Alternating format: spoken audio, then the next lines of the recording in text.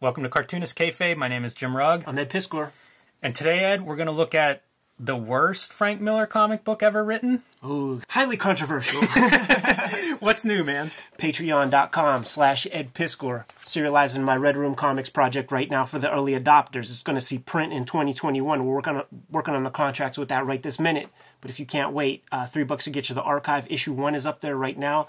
And I very reliably uh, post new pages every Tuesday, man. So we're in the middle of uh, pay, uh, the second issue. Shit's going strong.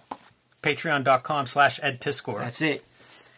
I am highlighting Street Angel because Street Angel, this hardcover from AdHouse Books, is officially out of print. I was notified the publisher sent out the last boxes of this to the distributor this week. So if you're watching at home and you don't have this, you can pick it up now, uh, maybe at your local comic shop or online, wherever you get comics. But it is going fast, and out of print books prices uh, do go up. They're harder to find. I also brought along the Image Collection, Deadliest Girl Alive. These are the more, more, recent Street Angel comics in full color. These are some of the proudest comics I've made, so I'm happy to show this off when Beautiful I get a chance. Beautiful. Uh, this is also available from any comic shops or wherever you buy comics. And uh, pick those up now. Perfect Christmas gifts as we get close to the holiday season. Okay, so you were saying this is your favorite Frank Miller comic? Ed, uh, I don't even know where to begin with this. This is part of the DC All Star line, which I think the only other title published was Grant Morrison and Frank Quitely's Superman All Star. I think there were plans for Wonder Woman and Adam Hughes, but I don't think that ever came out.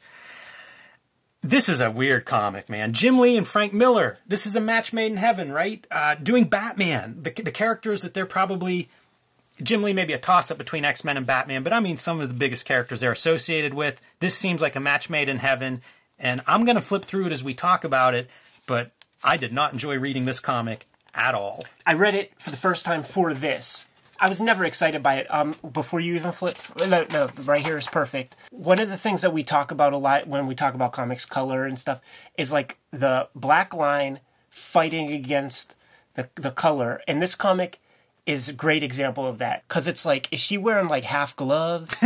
um, and we're going to see a lot of that throughout this. Like once you point it out, then you can't not see it. And that's that's the kind of thing that we're talking because we get comments about that. What do you guys mean? The black line competes against the color. Like it's that kind of stuff. Yeah, you, I'll try to summarize that. The black is flat; it's totally flat, and then you go down onto this leg where you have all these colors and all this value, and so you have this rounded form, what's right. known as modeling. And when you go from modeling in this rounded form to completely flat black, that's that's dissonance. You know, you have two two things on the same plane here on the page. One is completely flat, right, and the other one is supposed to look round, and they're next to each other. That's a that's a conflict. Yes. What we're seeing here is first Robin. Yeah. This, this is Batman, All Star Batman and Robin, and, and at the time it was pitched that you know Miller was this would be a different version of Batman for Miller because he's getting to kind of use Rob in the early days, right?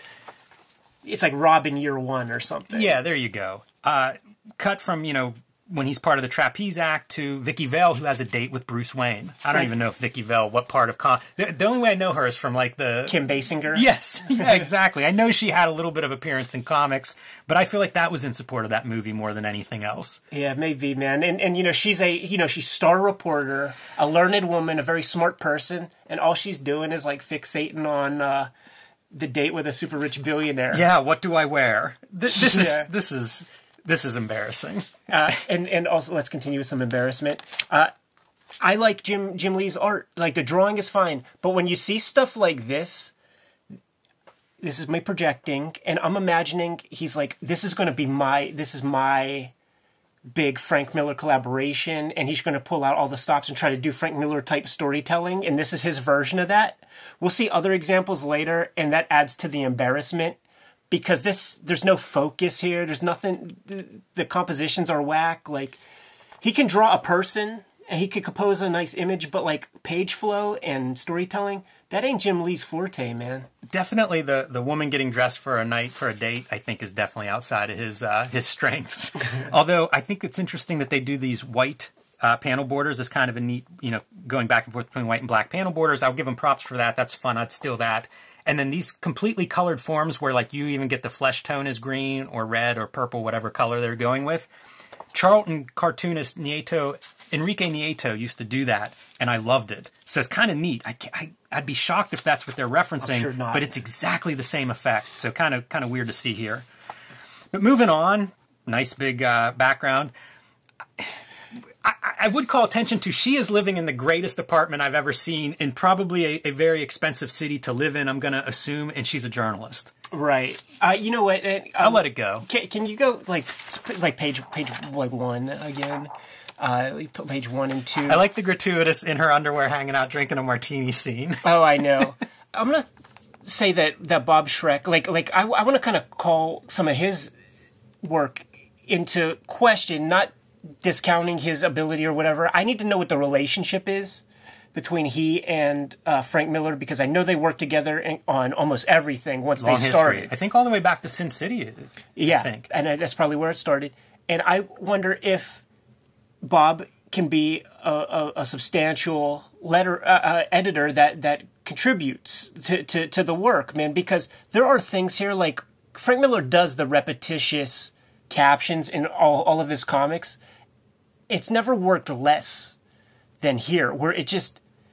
Yeah, and what you're saying is this this caption is, they're always there for me. This caption is, they're always there for me. This caption is, they're always there for me. That's within a four, you know, four square inches. Uh, we're getting the same over and over, and it gets worse than that. But, but I mean, you can point to most pages and show examples of what you're describing of that repetition, where literally it's the same caption again and again and again. And and like I would think like if my editor has my back, he would suggest like you know take one of those out, take take take those out. And I just what I'm calling into question is just like I wonder if those conversations happened or if if Bob is just chilling. Let's not skip too far ahead. Let's Okay. stick with this repetition. Okay. So they're always there for me. They're always there for me. These are his parents. He's 12 years old. His parents are going to be murdered here a couple of pages later in front of us, and we never really mourn them. So, okay, here's the murder scene, right? Shot in the head, shot in the head. His parents murdered right in front of him. This is supposed to be some parallel, I suppose, to Bruce Wayne seeing his parents die or whatever, but a totally different relationship and this this is never really addressed. Yeah. The cops then abduct him.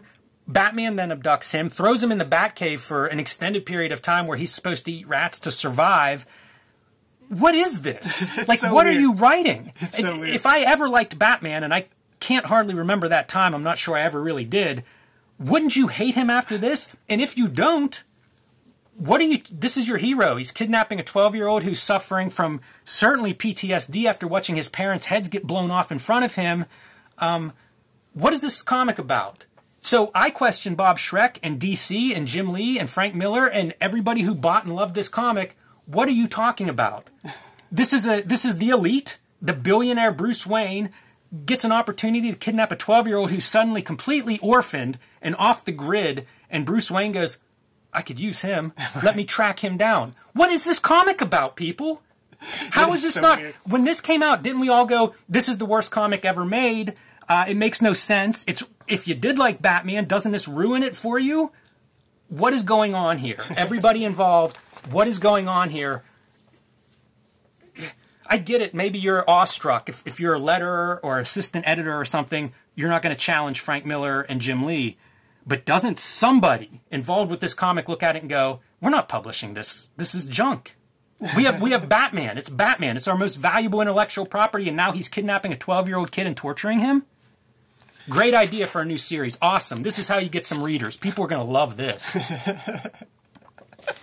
you know, Jim Lee, co-publisher of DC Comics. I, th- I think he had a high position at the time, at, at the very least. You don't have enough people to pull you down from uh, the stratosphere and be like, you know what, man, maybe, maybe rethink that stuff. Like, like there are things in here that I think I see what they're trying to do, and it's a very imperfect new Batman or something. So he's going to be a real douchebag or something.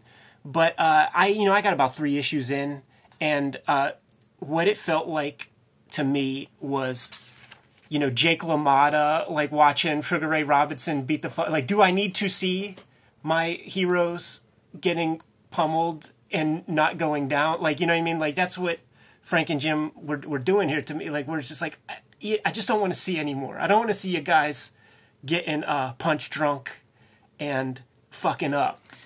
There uh, you know the, re- the reason that I that I mention these repeating things is if you're going to repeat these panels, what we establish is how important his parents are to him. Right. And then for the next 10 issues, we more or less ignore that and just abuse him. Or we've established how important they are, and, and then we're going to abuse him so that it really counts if you're, re- if you're actually reading the words. Uh, I, I do understand if people at home who bought this series weren't reading the words. As you say, Ed, pretty hard to read. There are all of these uh, different characters' voices. So we're going to get captions that are Bruce Wayne captions. We're going to get captions that are uh, Grayson's captions. We're going to get captions that are Vicki Vale's. We're going to get captions that are uh, Black Canaries. everybody. Everybody gets their own captions, which it's it's really funny because DC at one point around here, maybe a few years earlier, outlaws thought balloons. Well, these are thought balloons. They, they outlawed cloud-shaped thought balloons, I suppose, but that's what these are. They're inner monologues. It's exactly the same content that would be in a thought balloon. It just happens to be in a square box or a jagged edge box. That's so funny. It, it's horrible storytelling. It's bad, very bad storytelling, but it's like Jim Lee could draw. You look at it for what it is, and it's we've seen 500 pages of this. Yeah, I mean, I think that really good drawing could be another debate, uh, looking at sort of art on a bigger scale Of and how course, this yeah, fits. yeah. But I'm, I'm, I'm talking, I'm talking comics, and But here's the caption of Bruce Wayne saying this Brad is something. We're going to learn throughout the course of this that he's been eyeballing Dick Grayson for a while. Right. It's once the parents get murdered in front of him that, that he swoops in because now's my opportunity to grab this kid that has talent that I've been watching. That's not creepy at all. Right. And then these are Vicki Vale's comments, and she's sitting here being, the more this guy tells me, the less I know. Wow. Wow. What doesn't help me at all is that I'm totally gone on him. I'm having a date with Bruce Wayne. Hot damn. This is some super successful journalist. Has the greatest apartment we've seen in comics. is a journalist, which means has a vocabulary. Yeah, like what's going on? Is, does she have a parasite in her brain that has like rendered her unable to think and and what a rough comic, man. It's it's I, I don't know a redeeming quality. Like I said, I've seen people online defend this, but you know, I look at it and think, is it funny? Is it I you know, is there something there? And I, I don't see any of it. Also, here, here's your like your uh, muted br- brown colors that we've been railing on. Yep, I'm happy to talk about Brown. You're doing a superhero comic. The superhero comic. Frank Miller and Jim Lee, the two biggest superhero cartoonists of the last 40 years in terms of sales and volume. And this is what we get Brown. Yeah. Yeah. Leading up to this, It was so exciting. And let's tone it down so people don't have a seizure or something when they see this. Instead of giving her that yellow blonde hair, let's make it brown. Keep it in check.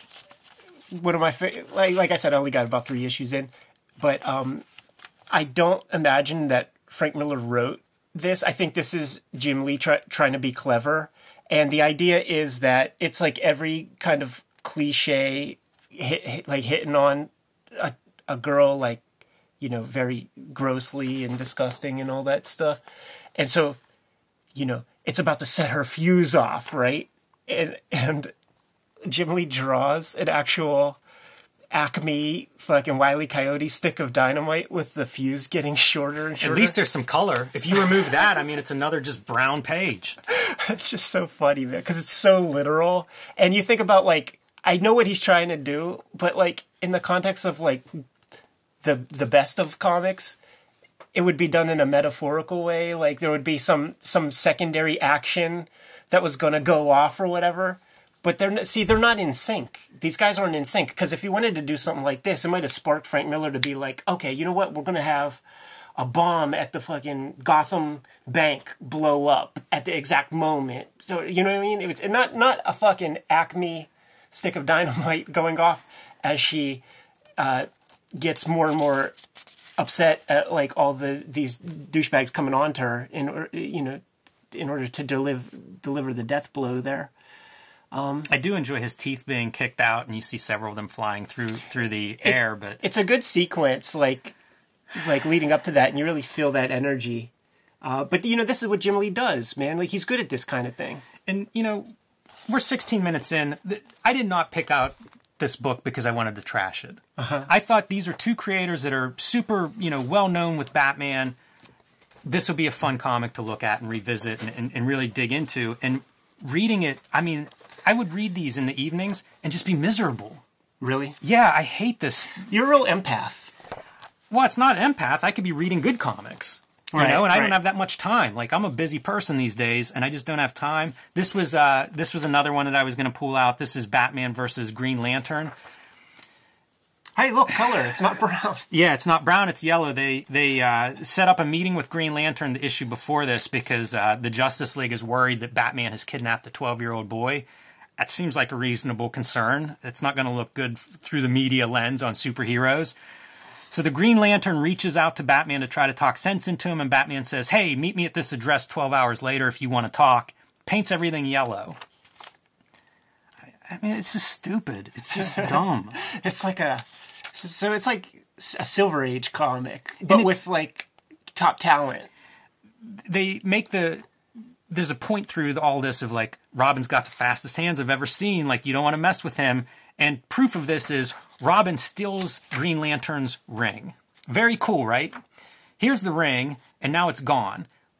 I went back through the sequence several times, being like, "Oh, that's interesting. Did he slip it off somewhere? Are we going to see that if you're paying attention?" No, no, no. There's no moment. There's no sleight of hand. There's no fun misdirection. There is nothing uh-huh. where he actually steals the ring, and then and then he goes on to hit him in the throat, and he nearly dies because he crushes his windpipe, and they have to do a tracheotomy. Really? Yeah, that's what happens here. In the process of doing the tracheotomy, before this begins, Batman punches 12 year old boy in the face, you know, nearly knocking him out because throwing him against the wall wasn't enough. You know what? This like, Anyway, we we would have loved I apologize for to everybody at home because this isn't what I want to do with this channel. Right. I did spend time digging through these and looking at them and trying to find something in them, and I found nothing. I think we aged out of this, man. I wonder, like, if, if like we talked to you know thirteen year old Ed, fifteen year old Jim, how we would feel about these things, man. Yeah, maybe. A tracheotomy. That's that's hysterical. Joker uh, Joker kills some kills a woman here in the beginning, punches her in the face, kills her, chokes her out, refers to her as it throughout that sequence. Oh, so they took that from. Uh, oh, dude, it's Dark Knight. Yeah, yeah, oh, yeah. Nazi yeah, chick. If you if you love all the comics continuity, this maybe is right up your boat. I don't know. I like Dark Knight Returns, but this isn't doing it for me. So anyway, that's all I have to say about it. I'm very sorry that I wanted to that I spent time looking and, and planning to do this video. Let's get out of here, man. It up. K favors, like, follow, subscribe to the YouTube channel. Hit the bell. We'll notify you when the next vids are available. Uh, Street Angel in stores now. Hardcover collection is selling out quick, and it's out of print. yes. Patreon.com slash Ed Piskor. Um, serializing my Red Room comic strips. Issue one's up there now, and three bucks will get you the archive new strips every Tuesday. You can subscribe to the Cartoonist Kayfabe e-newsletter at the links below this video to keep up with everything we're doing. You can find links to Cartoonist Kayfabe t-shirts and merchandise in the week of November 20th to 26th. If you enter promo code Kayfabe free ship, it's free shipping on any orders of that of those t-shirts and merchandise. Give them the merchandise. Let's get out of here, Jimmy. Read more comics.